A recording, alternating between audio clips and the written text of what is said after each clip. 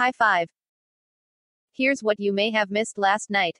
I say this without menace, like most dedicated UFC fans, I was not eagerly anticipating Anthony Smith's latest UFC main event slot. That's an objectively rude sentiment, but it's really not intended as a knock on Smith's character or fighting ability.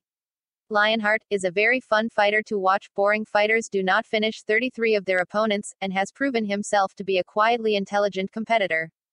Hell, I actually ran into Smith once at the UFC Performance Institute, and he was as polite as one could be. So, the problem is not at all with Smith himself. The relative lack of interest, however, lies in the fact that we've done this before. Smith has been in the main event of various cards, mostly fight night events, than anyone else since 2018. Eight of his last nine bouts have been given the five round treatment, and that's just a lot.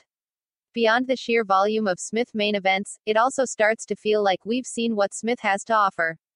We have seen Smith struggle with certain strategies, seen him forced to rely on toughness when his skills fail him. We've also seen the finishes, Smith making use of creative offense at his best. Or at least, what we thought was his best. After all, fighters don't usually keeping improving in their 50 second professional bout.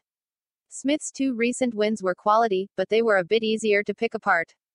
Devin Clark is not comfortable under fire, a bad trait versus a proven finisher like Smith, and Jimmy Crute was doing fairly well before a well placed calf kick shut off his foot. Good wins, but not necessarily awe inspiring. Last night, Smith proved that line of thinking far too cynical. Against a genuinely dangerous prospect in Spann, Smith proved himself an entire level above. Spann came prepared, looking to counter kicks with heavy punches, but he soon learned that there was no safe position inside the cage provided, Lionheart was locked inside too. At distance, Smith was poking hard jabs and low kicks. When Spann did try to land his power punches, Smith was simultaneously answering with check hooks or firing back right away in combination. The fight moved to the mat, and Smith beautifully mixed his offense between opportunistic elbow strikes and aggressive submission threats. Spann couldn't get anything going. Damage was everywhere, and the finish circled in on him like a vulture. The whole process took just under four minutes.